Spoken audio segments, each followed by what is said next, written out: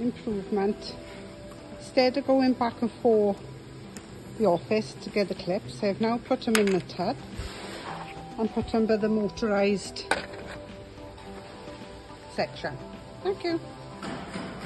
An improvement, I moved the sewing machines from here over there so they can put some rack in here.